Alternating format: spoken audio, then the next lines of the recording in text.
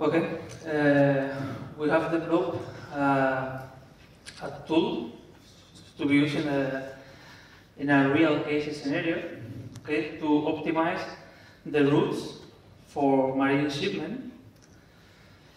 Um, we'll give a presentation in three steps, so I will go through the first one, which is the introduction.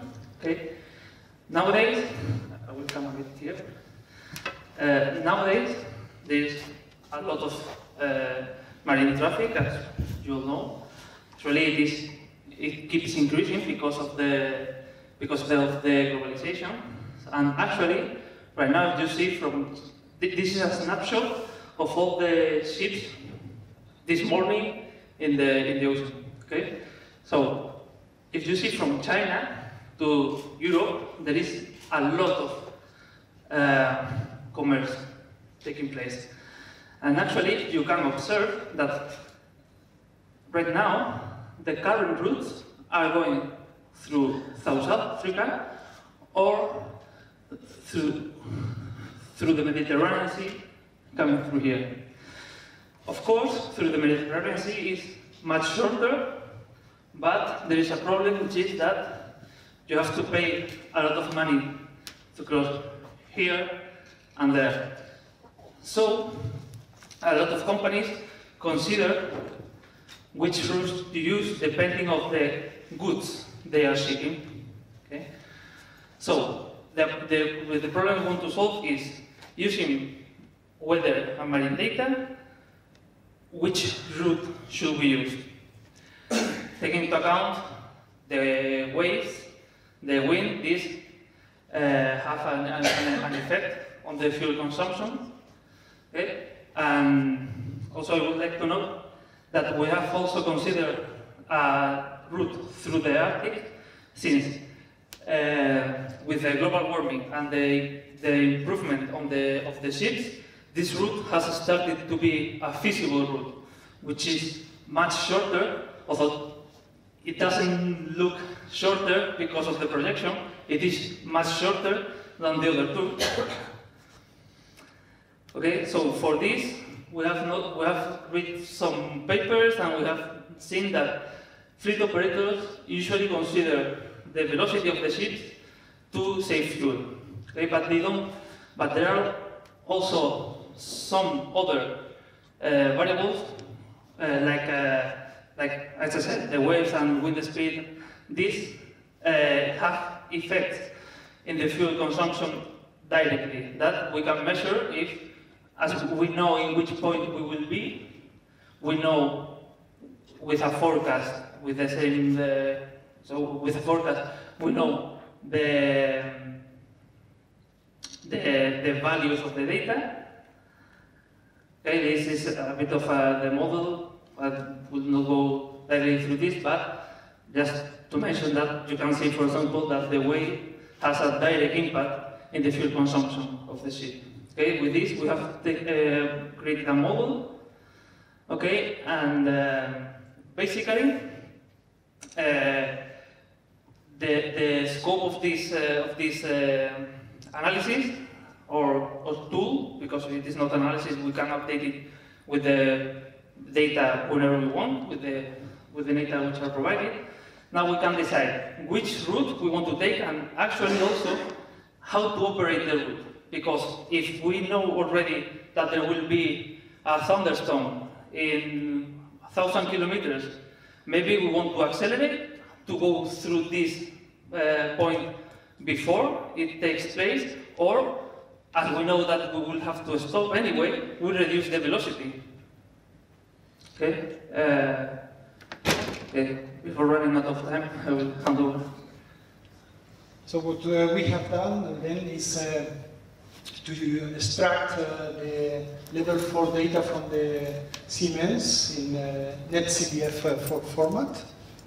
This is uh, one of the, our inputs. The other inputs is the shield routes uh, that can be provided by the maritime traffic in a CDF format, which is giving us longitude and latitude of the path. And we are going to uh, to uh, integrate this data and provide this data to our algorithm which is, uh, as explained by, by Pablo, is going to compute the consumption of the fuel every, every moment. And, uh, and after that, we can visualize this in a KML format. This is the format that we have choice.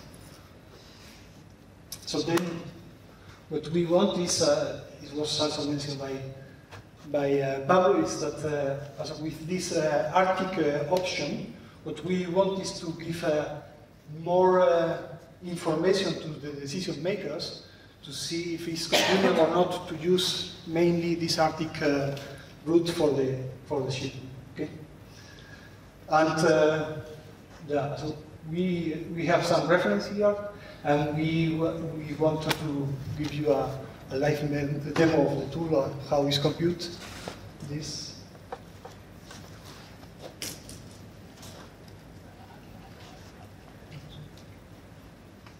So, as Maya said, uh, this is a tool uh, trying to support the decision makers uh, to evaluate what routes would be the most feasible for the interest in terms of cost saving, uh, in terms of the fuel required when there is bad weather conditions due to the wind or due to high winds. So as it was mentioned, we have received or taken access to the data in CDS format from uh, Copernicus. So we have, uh,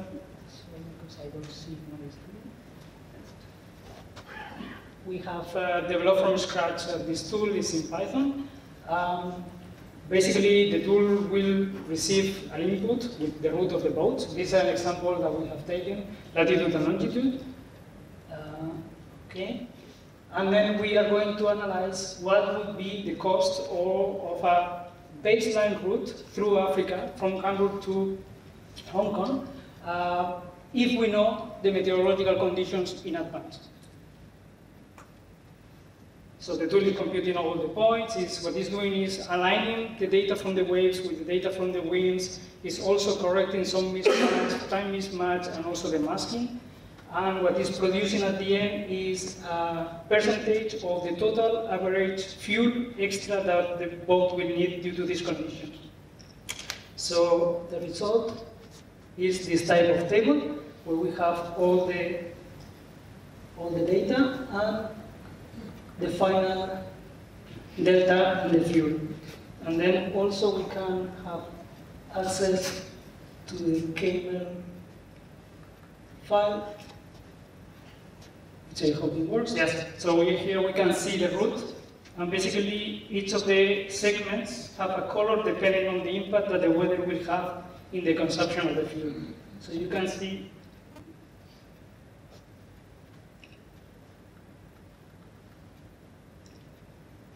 Sorry for this. So you can see that basically uh, red is having an impact on the consumption, uh, and the most light color is not having much impact uh, in terms of uh, delta fuel. And this can be used by the decision makers to evaluate all the routes of all the boats and see what is the most convenient in the forecast uh, data. Thank you.